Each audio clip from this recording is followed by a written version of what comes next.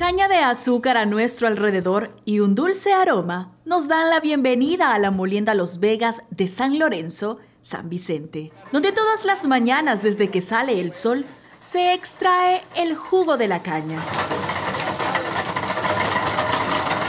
Un néctar del cual se derivan algunos tipos de miel. Esta lleva un proceso desde caldos y hasta para que se convierta en miel a puro juego. ¿Un proceso de más o menos cuántas horas? Lo menos unas cinco horas. Y se puede sacar um, para, para azúcar, para batido, para toda de la misma miel. Miel del dedo que le dicen, miel de mesa, de todo sale de ahí.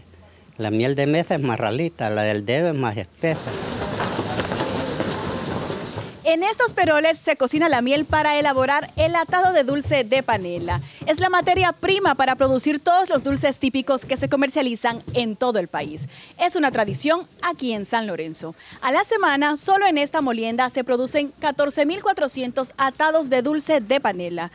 Una actividad que es fuente de ingresos para muchas familias.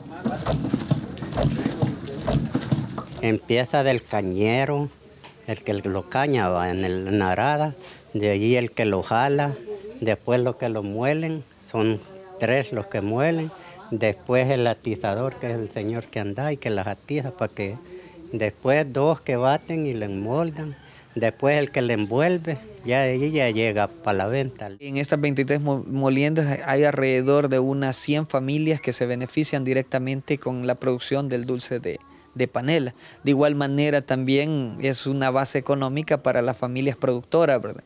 Y algunas lo venden, el producto apenas lo realizan.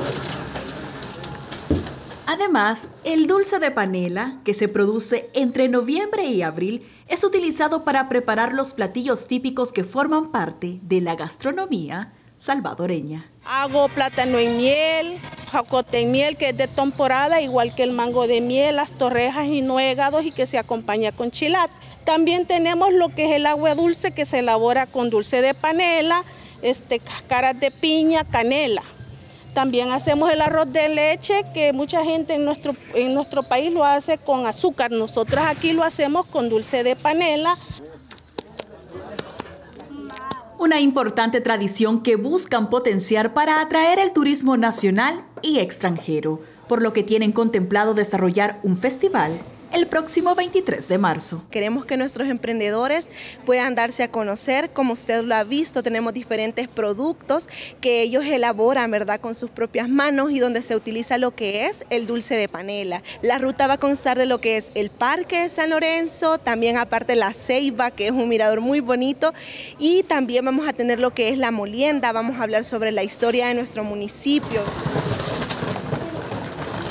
El dulce de panela, una tradición e identidad de los lorenzanos. Para el noticiero, Tatiana Arevalo.